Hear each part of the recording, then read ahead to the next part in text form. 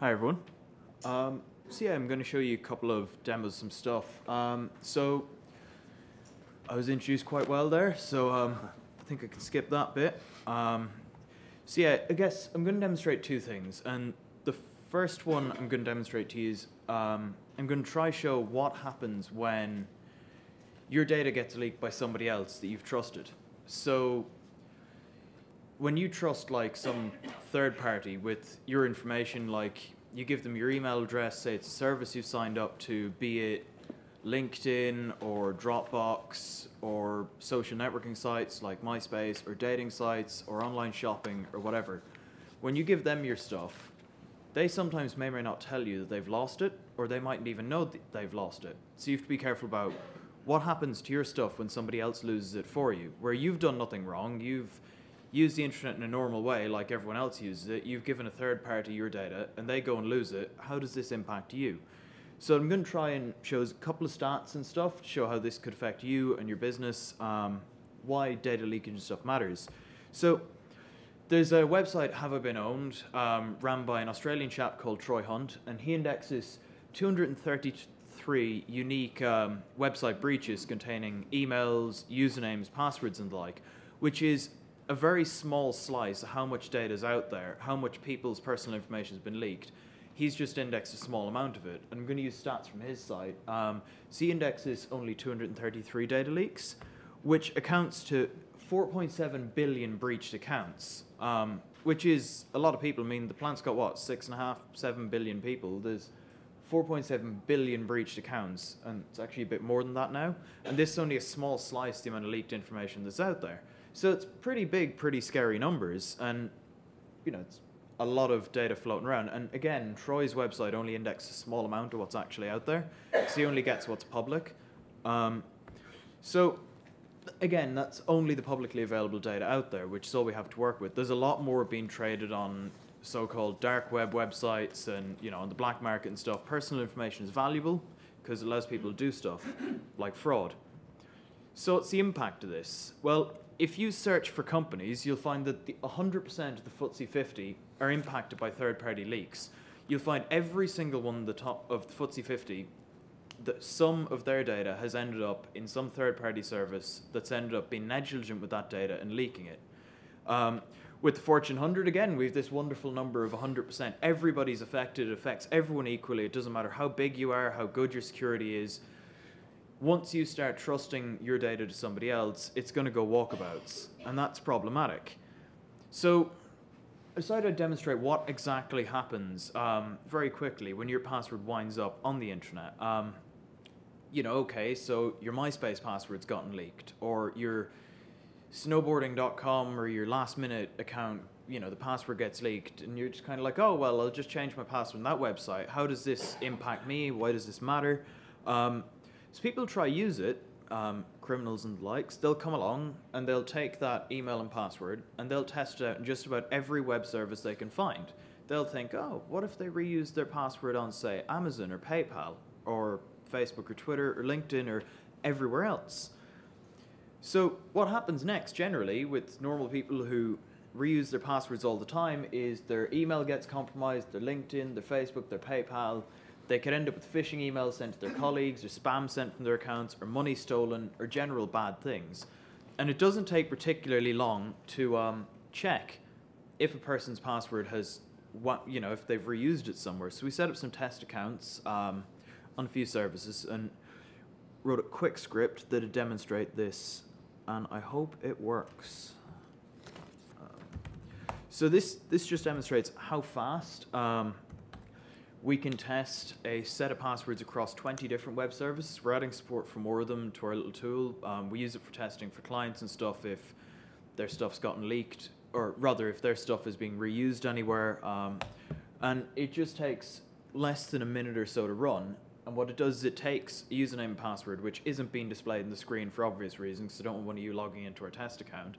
It tries to log into 20 different sites, um, and in about a minute, it quickly dumps out a list of sites that login worked on. Now imagine if this wasn't test accounts and this was just and this was your email and password that got leaked from say a dating site, say Mate One or mm-hmm. Zoosk, which have been breached in the past.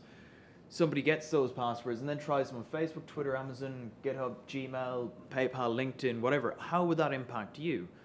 You might, you know, you go, oh, my Facebook's getting hacked. It wasn't your Facebook that got hacked, it was some third party service, and then your password just got recycled and used.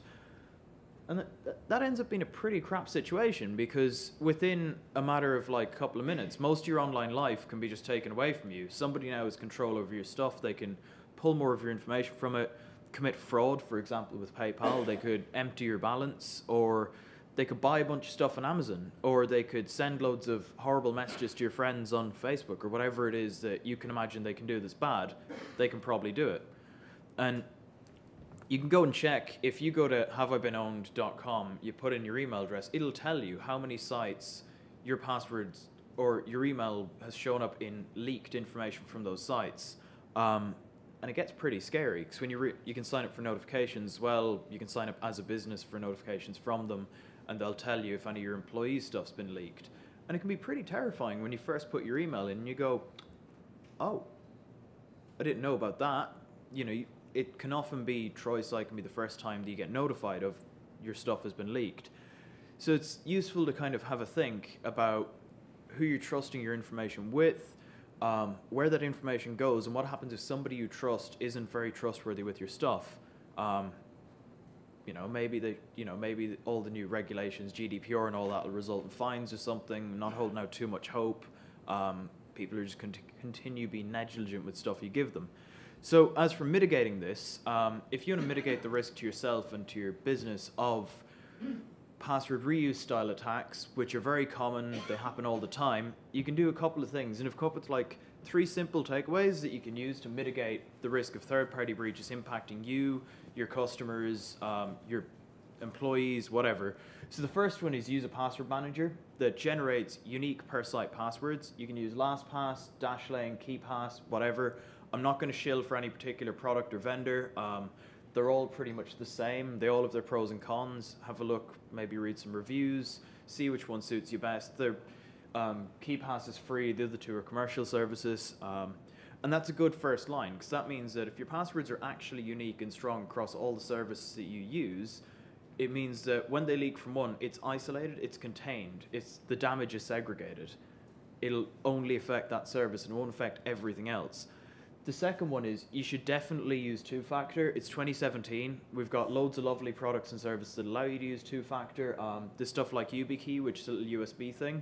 I forgot to bring mine with me today, but it's a little gadget that you plug in and does the second step for authentication. A lot of services support it. There's also Google Authenticator and Authy, which are mobile apps, so you can you know authorize with one-time codes from your phone some banks support similar things, like the bank I'm with. Um, they posted me a little um, little key fob type thing that I type in a pin, it generates a login code. You should definitely use something like that.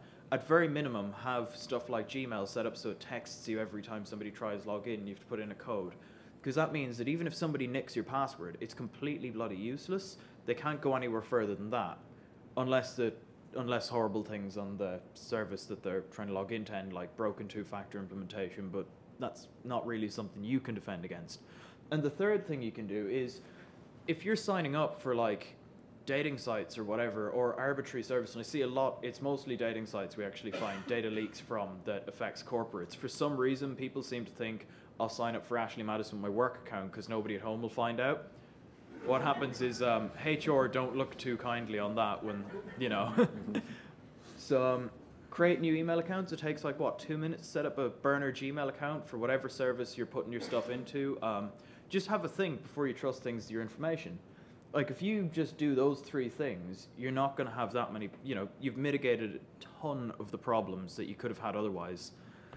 Um, the second thing I'm going to talk about is kind of to do with the WannaCry and Netya things, which impacted like the WannaCry and Netya ransomwares that happened this year. They impacted pretty much most businesses had some kind of horrible experience with them. I reckon.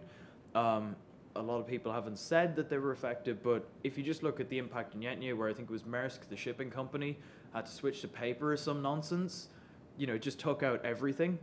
And the WannaCry Netya things were completely avoidable they were, you know, there was, they were totally avoidable incidents. Um, and they're a very good case study in why installing patches on time for your endpoints is really important.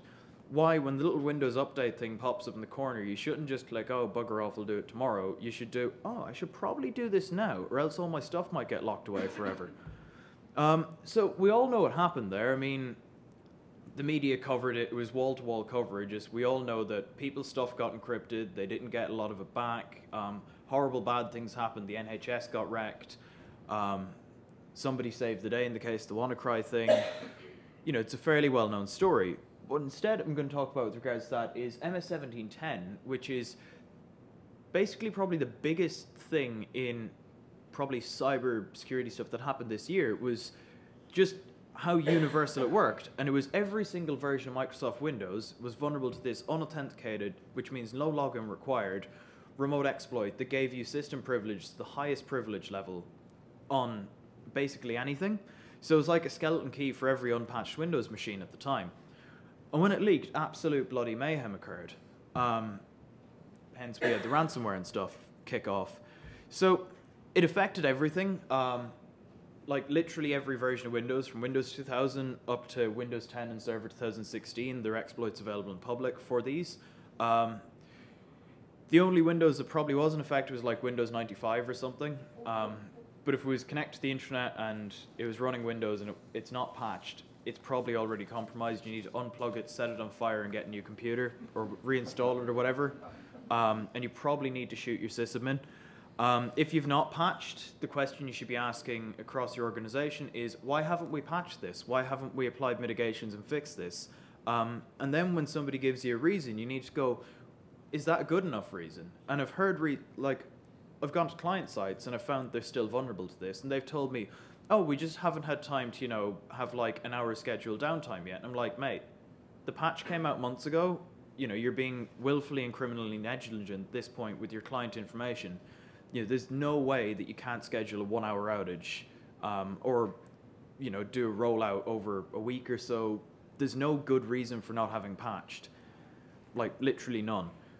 Um, so I'm going to show you how fast this thing works, and hopefully this demo works. Um, but this just shows how fast and how simple it is to infect an unpatched Windows machine with ransomware using the MS1710 exploit that WannaCry and NetYou used to spread. So here we've got our lovely Windows XP machine. I'm using XP because it's about the only thing that I can run a VM on my laptop without turning into a space heater. Um, and here we have just a quick demo exploit that I'll hit run, stuff happens, prints out a bunch of debug output, and then we wait a minute. And we should see within about 60 seconds um, something awful happen. Just have to wait a bit for um, the horrible pop-up screen of, oh god. Oh yeah, there we go.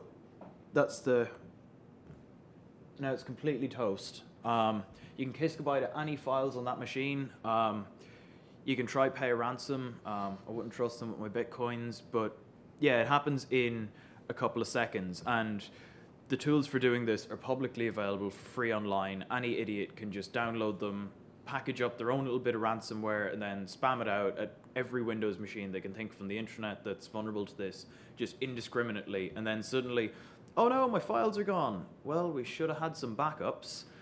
Um, generally not a good day for anyone, especially not for the IT department, who are going to be getting lots of unpaid overtime. So that it all happens ridiculously fast. I better kill that machine. I'll just be a second. Um, I'll just turn that machine off in case it does something horrible while I'm not looking, like infect something else. So as you can see, it just happens instantaneously. Like there's a couple of seconds for the malware to execute, but the infection takes like no time at all. And this is terrifying because unless you've patched, you're kind of screwed when it comes to defending against this, and it's entirely silent. There's no user interaction required, like the user doesn't have to open a dodgy link in an email. They just have to have their computer connect to the network and not have installed the required patches. And this ends up being like users' workstations, they you know, their laptops they take home, their bring your own backdoor policy, whatever. Um, that ends up being like a little infection vector that screws everyone. So what can you do regarding mitigations? And the obvious one is patch, patch your stuff, um, install the updates on time. They don't, you know, I, I mean, we all probably have our little gripes about Microsoft and patches and stuff and their products, but like, they don't deliver patches and updates for no reason. They don't do it just to piss you off and cause downtime. They do it because their product is acting defectively and they're trying to repair a defect. And that's the other thing. We should see this as not a bug. We should see this as a software defect, as in defective product, and this is a repair for the defect. It's not just fixing some glitch. Um, you should segregate your networks. Um, you should make it harder for worms such as WannaCry and NetYou to spread.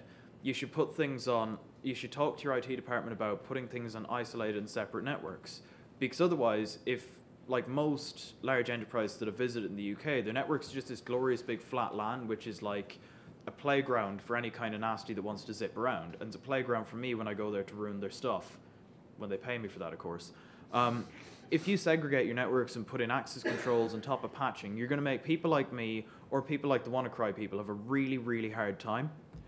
And finally, you should you should manage privileges on your networks. A lot of a lot of stuff gets in because and gets around because people don't have effective privilege management. They just have, oh yeah, of course our users can run everything as admin if they want. You know, we trust our users. No, don't trust your users. Your users are actively hostile to your business. They'll click stuff, they'll ignore the update prompts. Consider them to be like bloody children, right? You don't want to give them enough rope to hang themselves with. You don't want to give them forks near power sockets, whatever. You know, they will screw you up. They will lose you money. So don't give them admin rights. Don't give them, you know, a way to hurt you. It's you know, it's something that we should all be doing, but you end up with like that annoying power users like, oh no, I need admin to do blah. It's like, no, actually, mate, you don't. You don't need to be logged in as admin. Um, you know, nobody does. I mean, what do most people do? They send emails, they do some Excel and Office. They need a limited user account for that. They run a couple of bits of whatever software they do. They don't need local admin on their computer. They need, in fact, some of them don't even need computers, but that's beside the point. um, yeah, you should if you do those three things, like if you make sure to patch stuff, um, segregate your networks, and have good privilege management and good policies around that, you're going to be not going to say immune, but you're going to be far lower on the risk scale than everyone else. And that's the whole thing. You just want to be less at risk than everyone else. And that kind of sums up the main points I want to make. So I guess I'll leave. And the demos actually worked without retrying them a few times, way ahead of time. So I guess um, I'll leave it open to questions and stuff. Yeah, um, I mean, it's great how we've gone from humans being the best line of defense to take away all the computers. Uh, and I'm going to start running Windows 95. I didn't realize that was the best way to stay safe. Um, does anyone have any questions straight off the bat? Um, Darren? I'm, I've got one for you, um, which is, I mean, you were there on the front line, say, for WannaCry, analyzing the malware through the night, ruined everyone's weekends. Hmm. Um, when you're seeing it, what do you see as the big trends to come in terms of what adversaries are doing, what hackers are looking at? So I honestly think that like we've seen a big uptick in it's gone towards ransomware as opposed to previously was sort of banking malware that would steal your banking logins and stuff. That's proving a lot harder for criminals to cash out. So we're seeing a lot of like from the organized criminal groups who are just in it for the money, it's moving towards the ransomware model, which is very smash and grab. They hit you, encrypt all your stuff, demand some money, you pay up really quick, and then they're gone. Um, it's all about faster cash out. And it's all about automation and doing stuff fast, doing stuff easy. Um, we're going to see a lot more horrible ransomware in the future. Um, you know, it's just getting the bars being lowered. People are paying up, and that's the thing. Happy days. And and what, I mean, with the WannaCry, like you say, these were really old systems that needed patching. Microsoft announced it. Um, but what's it like for a business? So that exploit was discovered allegedly, again, keep using that word, by the Equation Group, which is the NSA American equivalent of GCHQ, their hacking group. Uh, you know, one of the most be the best resourced hacking group in the world, one of the most adventurous. Um, their secrets were stolen, and then they were exploited by this WannaCry, potentially by allegedly North Korean hackers, Lazarus Group. Um, then you've got the poor NHS in the middle of all of that. Does it stand a chance against these sort of nation states fighting over all this cyber turf? Cyber turf, what an awful phrase, but yeah. Honestly, probably not. Yeah. Um, that's like, honestly, the NHS kind of, to put it bluntly, completely toast um, when it comes to trying to protect themselves because they don't have the budget. Um, they don't have the budget or the manpower, and they've got huge networks with you know thousands and thousands of users. if something gets in, it's going to be a really bad day. And WannaCry was just a wonderfully horrendous example of it, especially what with the timing and just how destructive it was. You know, when it hit stuff up until the kill switch was discovered and all that. Mm. When it found stuff, it just toasted everything. You know, everything got encrypted, no way of recovering stuff. Um, there was eventually a few ways to recover things, which relied on the computer not having been powered off, etc but there's not much chance at effectively defending against nation state attackers. Um, that'd be a problem for GCHQ. Mm. They should be protecting their country against nation states, um, against other nation states, but they should, you know, it shouldn't be their problem. Mm. Um, they should be able to defend themselves against your lesser resourced criminals, and they should have the budget to defend themselves, and they should be able to hire the expertise to do so, but at the moment they can't. Mm, Cool. Um, any else? Okay, great. Oh, th- two here. Sorry, missed you guys. Um, yeah. Just following on from that question, hi, Caroline Noble from James Cropper PLC. Uh, we talked about governments, and you know, obviously, there's been a lot of press about what the U.S. government did or didn't know about WannaCry. But if you take the next one, which was PETA or not PETA, whatever you want to call it, um, there's a lot of commentary afterwards about large cybersecurity companies and their interests with government or links to government that are not out necessarily to support us as a, as a UK nation. Should we be worried as uh, IT leaders about what software and what companies we use for cybersecurity? Um, this is, I mean, presumably reference to Kaspersky, which has been alleged by the FBI. Allegedly, I wasn't And going to they- say yeah, it. yeah. and they deny it. But it's interesting because, you know, it's a, I think it's worth getting the name out just to talk about it. Not to talk about Kaspersky in particular, but sh- is that something vendors should be worried about? Um, there should be some concern. Um, with that particular case, I don't. I believe that a lot of the accusations are somewhat baseless. Um, but there should be people should be at least somewhat concerned where the software they're running comes from. You should have a look into your vendors. You know, if you're trusting a security product vendor to put stuff on your network, which effectively has maximum privileges over your stuff, like an antivirus can you know can look at all your files. It can, it sends them home. Um, it can do an awful lot of really horribly invasive stuff. So you want to have a good you know good trust between you and the vendor. And be it, you know, you choose a domestic vendor from, you know, if you're UK based, you could choose a UK vendor, I guess. But I mean, you should probably base it on who's the most trustworthy, but also who does the job the best. Um, if you're paying for a product, it should work. Um, and you should, you know, it's a difficult one because countries are going to sling mud at, you know, the AV vendor of another country. And now that that kind of game has started, it's not going to stop. Um, it's a difficult one, but yeah, you should kind. I guess you should kind of think about who you're trusting to run stuff on your network.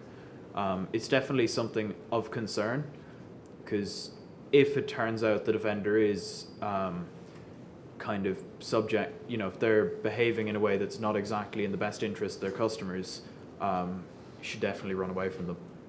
It's you should wait for proof though, as opposed to accusations, because um, baseless accusations without any publicly viewable evidence help nobody. Yeah. Um, question.